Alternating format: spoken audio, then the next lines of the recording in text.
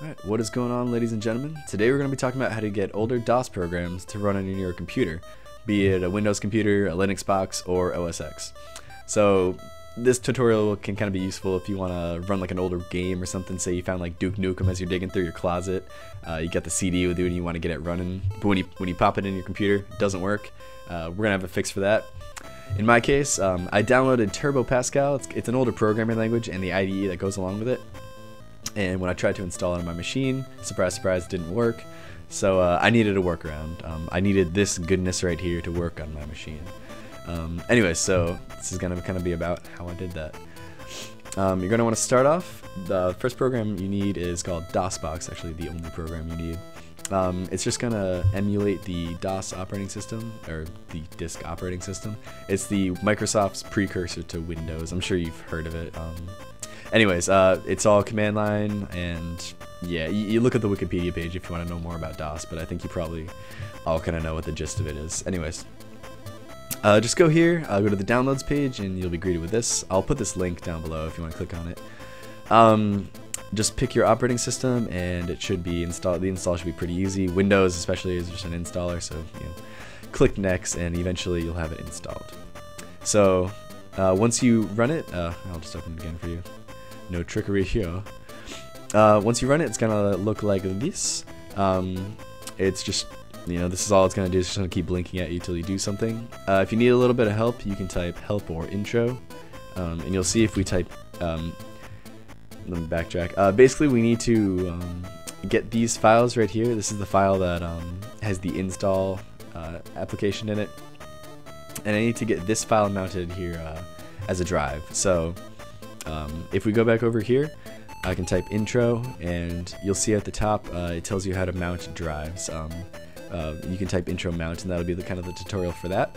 Uh, if you do have a physical CD, um, you can do the intro CD-ROM and it'll tell you how to mount that so you can actually get to it.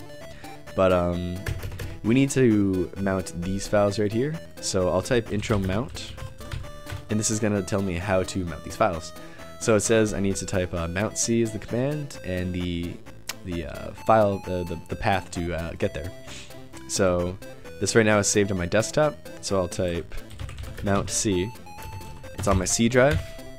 It's under users, root because I'm funny, desktop, and let's see, it's called BTP 7 1 underscore 1 DOS. Uh, fun fact, uh, this DOS is not uh, case sensitive, so there you go. Anyways, um, it'll say drive C is mounted, or whatever you call the drive. And now we just need to navigate it. To switch drives in DOS, it is just the drive letter, and then a colon, and you can do a slash as well, but it doesn't matter. And right now, I'm at the top of the C drive, and I, I specified that the top of the C drive is going to be this folder right here. So even though it doesn't say it, I'm in this folder and you uh, type directory and that lists all the contents of the directory. So I need to run the install application and so it's just right here install exe.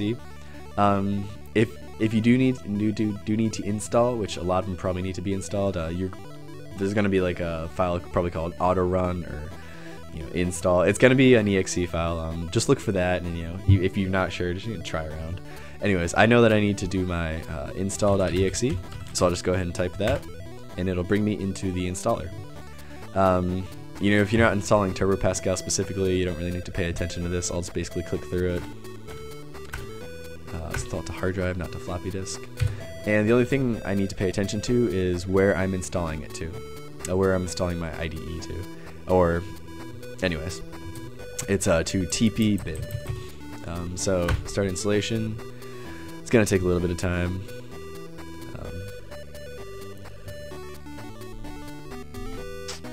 I don't really have anything to say at this point. Um, the installation is totally done. I mean, this is that's really all there is to it. Uh, you're just gonna need to navigate to the folder where you installed it and just you know run the application. Um, I will go to it right after and show you it actually running. I'll maybe see if I can try and uh, write a program in Turbo Pascal, but I don't think I remember the syntax. All right, perfect. Turbo Pascal 7 installation is now complete. Blah blah blah blah blah blah blah. Uh, I hope that's not important. Uh, the README file pops up. This README contains important information. Alright. I hope, I hope it didn't contain anything that was that important. Anyway, so uh, to navigate, you're gonna navigate to your um, your wherever you installed it. So cd change directory, TP is what it was called, and change again change directory again to binary. Um, check what's in here with directory. That'll list the contents of the directory. And the actual application is called turbo.exe.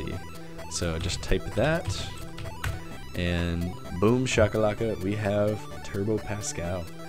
Uh, not that exciting, but anyways, uh, this is basically it. Uh, I have no, I no, I don't really remember how to type a um, a Turbo Pascal program. Um, program test uses WinCRT begin. Uh, it's something along these lines. I have no idea if this is gonna even work, but the point is, uh, the point is, I, I got a program to run in um, this uh, virtual machine, this DOSBox, uh, and it's gonna work with anything, um, anyone, any of these older programs. Uh, it's gonna be essentially the same installation uh, process. Let, let, me just see if this works. I'm curious. I really don't think it's gonna. I, I, I need a semicolon somewhere.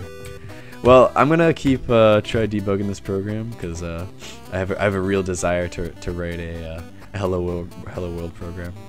But um, yeah, that, that was basically it. Uh, I'll just say uh, Deadbeat Devs uh, signing off. If you have any questions, just post them down below. I'll get to you. All right, super exciting here, guys. Um, got the program to work. I, I looked at that uh, little program I brought up in the beginning, and I, I made a nice little Hello World program. So uh, here it is. We're just gonna go ahead and save it and run it. Ah, oh, look at that. Warms my heart.